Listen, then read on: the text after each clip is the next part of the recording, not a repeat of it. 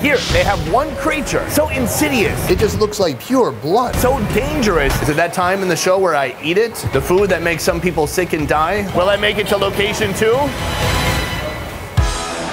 Vietnam has over 2,000 miles of coastline.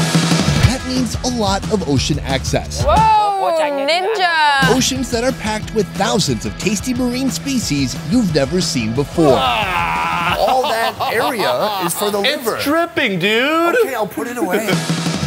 Today we're on Phu Quoc Island in search of some seriously unique shellfish.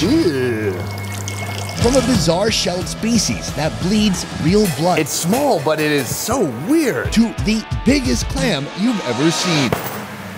Wow. All that and more starting now. Welcome to Phu Quoc Island.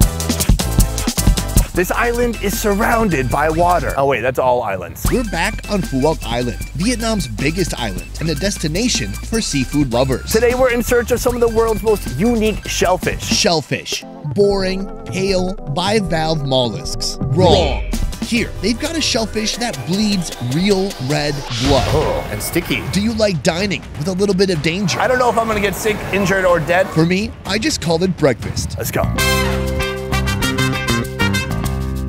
I've come to one of the biggest seafood restaurants in town with a varied menu you can literally pick from. Check this guy out, dude. That is freaking huge. It's gotta be a few pounds at least. Super expensive, very exotic. But we're not here for this. We're actually here for something much, much smaller. Bye. This kind of edible aquarium is common among seafood restaurants in Vietnam. It keeps the food fresh and tantalizes the eyes of hungry patrons. Boom. So I've made it to the clam section. What kind of clam is this? I guess that's a snail. We're not here for that. Here we have what I'd call uh, a normal ass clam. Nothing special. But here, this is actually what we've come for. It looks very innocent, indistinct, harmless, no big deal. But actually, it could be very dangerous. Oh wait, are you on my face right now? Very dangerous. These are known as blood clams. You'll see why soon. They're dangerous because they can easily carry deadly diseases like hepatitis, dysentery, and typhoid. Sounds delicious. Let's eat. It's true that people have died from eating blood clams, but this is not a suicide mission. You see, the danger doesn't come from the clam itself, but from the environment they live in. Blood clams harvested from clean water or raised in farms are safe and loved throughout many parts of Asia. Right now, I'm in the kitchen with Chef Lee. Sir, nice to meet you. Put it there. Maybe they don't do handshakes on this island. It hasn't reached the island yet. A handshakes, that's okay. Here we have our blood clams. What's super unique about these is they're nearly impossible to open. So even though I want to eat it raw right now, or literally, can you open that? Huh? Basically, at this point, it's uneatable. You need a hammer and a chisel, or you need to steam it. Blanching the clams for half a minute makes their shells unhinge just enough to pry open. Oh, he's doing it. Yes, look at that freaky little thing. It's small, but it is so weird. Oh, and sticky. And even in the shell, still, it just looks like pure blood. This gruesome red blood bath is the result of hemoglobin, the protein that gives our blood its red color. My God, that looks really gnarly. The blood clam is the only clam species carrying this protein. That's why it can easily pass on certain human blood diseases. Is it that time in the show where I eat it? The food that makes some people sick and die? Um, oh, and, and uh, thanks, guy. And uh, this way we can both die. Cheers. Mmm, briny, a little sweet. It's got a funky, kind of half spongy, half crunchy texture. Okay, okay. I'm gonna take it as a yes. From here, he's gonna cook these up a couple more ways, and we're gonna try it out. Chef? After blanching, these clams are stir fried with chili and garlic. Pour in some tamarind sauce and make sure each clam is coated in this sweet, sticky glaze. Want some more variety? These clams are coated with salt and chili. I'm gonna try one of these with the tamarind and the peanut inside. With my years in Vietnam, I know you're not supposed to go right for the meat. You're supposed to give this a little washing machine action in your mouth. Clean. From here, I need to attempt to open this. Oh, the. Ah, this is like the world's hardest seafood to eat. I'm gonna bend my fingernails back, I know it. Ah, ah, there we go. At this point, 0% of that tamarind is actually on the meat. Give it a dip in the sauce. Try it out. Beautiful balance. The tamarind is almost like a syrupy, sweet sauce. And so to balance out that kind of briny, oceanic flavor, you need a little bit of sweetness. Next, the spicy blood clam. This is a huge bite right here. Try it out. Ooh, so that one's very spicy, but a nice kind of inviting spiciness. This would be perfect with beer. Overall good. I like it, but I feel like I burned more calories trying to open it than I received by eating it. This mollusk mission is just beginning. This thing is so big, so old. I've never seen a clam this big. But before we get to that giant clam, we're stopping here. A seafood spot containing a rare species that's quite possibly never been identified by scientists before. This is so weird. Let's try it out. We have come to our second location, a seafood restaurant with dozens of live seafood options. Here, something super unique that you don't see everywhere. Built into the wall, they have a compressor. From there, it's shooting out air through these little hoses. This hose has a little anchor. Drop that in, it puts oxygen into the water, and that way your seafood doesn't die until someone orders it.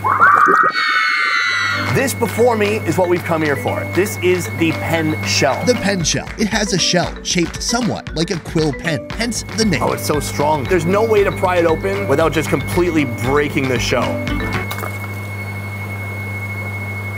It scared me because it moved. This pen shell species can easily be found in Vietnamese waters. Folks here can't get enough of what's inside this shell. I am in the kitchen right now with Chef Date. You ready? Yeah. So he starts by sticking in a Subway butter knife, and then he kind of peels one side and then opens it up. That's a confusing mess in there. Oh, I feel uncomfortable. I didn't realize it was so complicated. I thought it was just gonna be one big piece of meat. All right, well, uh, you know, it's gotta eat. It's got to poop. So all those components are in here. A stomach, probably an anus. We're not eating this one raw, are we? Oh, please God, no. These pen shells are made into two different dishes. Lucky for me, neither will be raw. First, the pen shell scallops are removed from the other organs, cut in half and stir fried. This is kind of like the scallop. One of these pen shells weighs about half a pound. And in that half a pound creature, you get this much luxury meat. Let's try it out. It's similar to a scallop. Maybe it is a scallop. It's not like a traditional, quickly seared, buttery scallop. It's gonna be just soft and sweet and super tender, soft. Did I say soft twice? This is very dense and quite chewy. Possibly cooked a little bit too long, but that just might be the way it rolls too. All the flavors are good, but man, that is an interesting texture. The second dish is simple, cooking over hot charcoals with scallion oil and then peanuts. This is just everything. This white scallop is in here too, as well as everything else. I'm gonna try this out right now. A lot of stuff in there. I wouldn't say it's like the cleanest taste ever. It's got almost like an oceanic gaminess to it. Super chewy. It's like heavy and bold, like Vin Diesel, like Ludacris. What if I just named all the Fast and Furious cast? Who else is in Fast and Furious? Moving on, dish number three. We didn't actually come here for this, but I found it randomly. Ugh. What the? No, what's this? Oh, this is a geoduck? No, I think it's different than a geoduck. Gooey duck doesn't have any antennae.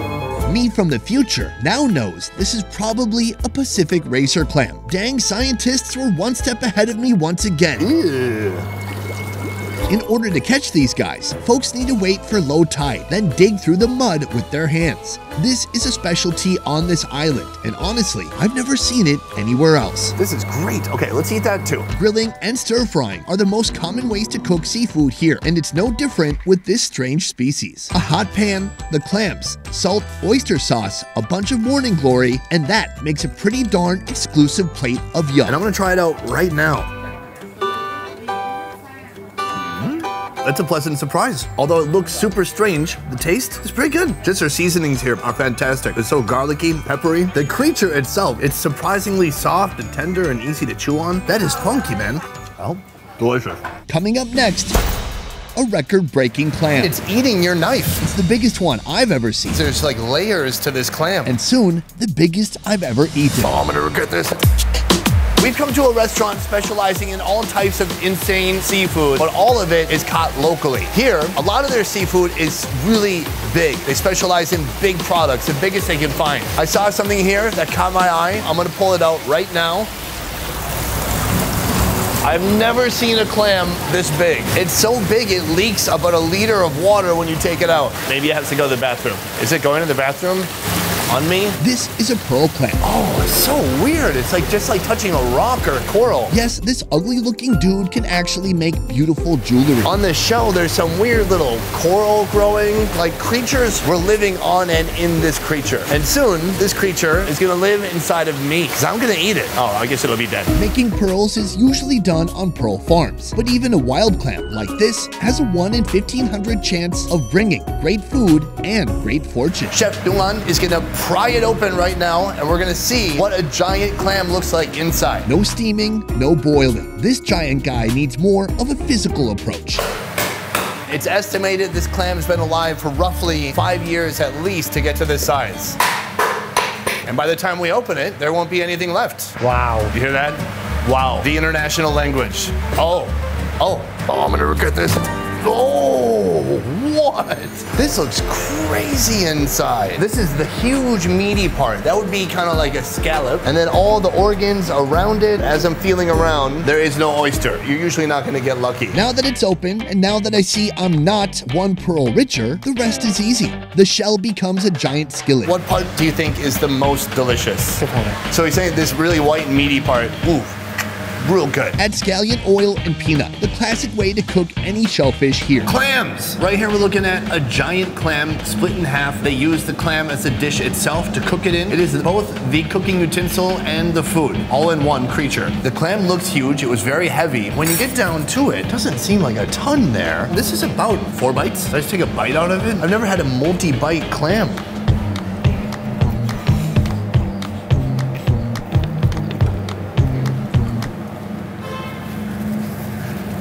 That did not go that well. So the flavors are actually outstanding. Dynamite, a powerful scallion musk, some nice peanuts in there. But take a look, man. This is thick and chewy as heck. Like I need a steak knife to eat the rest of this. Aha, I've spotted a solution.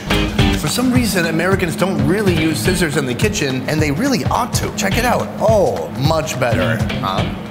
Very nice. Now these pieces are much more manageable. Great seasoning. This is really quite a treat. And I was wrong. I thought it was four bites. It's like 40 bites and 4,000 chews to get it down. It's very chewy. Today, I've been living a seafood lover's dream, eating fresh food right from the tank. Oh, delicious. But it's actually possible to get even fresher than this. I'm talking food pulled right from the ocean. This is awesome. And moments later, it's on your plate. I thought fish would gather around, like puppies do when you're eating.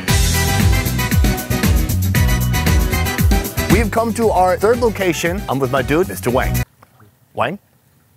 Wang. So let's do a quick tour. Right here, they have a bunch of cobia. This is just a huge white fish. From the top, they actually look a lot like sharks, but they are not sharks. Right now, we're gonna feed some. Oh, that's like me when my food comes at a restaurant. Typically, restaurants do their best to preserve fish in tanks with oxygen, but eventually, most will die. We have a big group of groupers. Oh, please tell me a pack of groupers is called a group. Here, if you don't sell the fish for a week or even a couple months, it's not a problem. We're gonna try to make them come to the surface. In fact, the fish can keep growing, bringing in more money when they finally sell. Oh, they're much more majestic. This place is not just about the fish, they also have clams stored in the same way, and he's gonna pull some up right now. Take it away, sir. This is awesome. Look at this. I feel like a, a, real fisherman, except someone else caught these. These clams are known as rambutan clams. The rambutan clam is the local name for the thorny oyster. Locals here say it looks a lot like this fruit. These spikes are part of the mollusk's defense system, and they help the clams to stick on other surfaces like reefs. He's gonna shuck one of these open right now. Oh, what the flip? Maybe it's also called rambutan because it is bright and pink on the inside. He's gonna pull up one more bag right now. Oh, these are huge. These are called bull clams, and it's another indigenous species very near to Phu Quoc Island. The bull clam also got this creative local name because it kind of looks like a bull. I don't know why I'm obsessed with trying to open these, and I fail every time. This is the largest clam in the hard shell clam family. We're gonna have to throw this in hot, boiling water. You'll like that. Then you'll open up, huh? Grill them over charcoal for 20 minutes, top with cheese, and serve. Right now, perhaps the creepiest eating scene I've ever done. You guys hear that? Here, a beautiful spread of shellfish. On this side, it's the bull clam. It looks like a cheeseburger without the bun. It's really solid. That's big. Oh, I almost choked to death. That is really hard to chew. I thought it was gonna be more like an oyster. It's nothing like an oyster. At one point, it almost killed me. Very dense, thick, a little sandy. That's how you know it's fresh. I feel conflicted. So this white trash side of me is like, ooh, processed melted cheese. So putting cheese on seafood, I don't wanna like it, but I kinda like it. Over here, the rambutan clam, it looks super interesting. The thorny oysters also get the hot water treatment. On the side, a hot pan with scallions and shallots. Add the clam meat, add some seasoning, then add some freshness. These clams look really freaky. It's almost like an eyeball. There's like a, this dark, deep, orangey red part, and then there's a opaque kind of white part, like a fish's eye that's clouded over. Let's try it out less chewy, more kind of spongy. The clams have kind of taken in some of that seasoning, but it still has its clammy brininess in there too. It's very different from any other clam I've had. It's like eating an eye for me. It's been super fun throughout the whole day. Not just trying different kinds of shellfish I haven't seen before, but shellfish that you likely can't really get at other parts of the world. So when I say this is some of the most delicious seafood I've ever had, you basically have to take my word for it. And you'll have no idea if I'm lying, because you can't travel here either because of Corona. Best Ever Food Review Show is a small team of independent creators, and everything we do here works because of you guys. Click the link in our description to join our Patreon and receive exclusive benefits. A peace. We have come to our first location, like location, location, location. Yeah, cut, cut, cut. Yeah, I, I didn't think it could get old. Just walking around eating food, it, it, it, got old. I want something different or more money. Psych, I wasn't even on the phone. Fine, fine, fine, fine, fine, fine, fine. Should we get rid of this kid too? Throw him away? Yeah. The tricky part about a spiny lobster is that uh, it's spiny. Son of a bitch. This is really hard to open. Maybe you can like bring it to the kitchen and the chef can open it and bring it back and pretend like I opened it. Oh, that one opened up really easily. I love this kitchen. No stainless steel. What they've done is they've taken kind of a plastic tarp and they've stapled it to a wooden table. That looks like metal from the side of a building. Real beach style. Real like, um, what's that show with Tom Hanks where he falls off the airplane? Outcast? Mission Impossible. Mission Impossible? It's like Mission Impossible. What the? That is it for this one. We will see you next time. Thank you so much for watching. Peace. And then, blah, what if I jumped in, huh? Wouldn't that be crazy? I'm not gonna. All right, let's go home. Can you move? Just watch. No, no, no, no, no.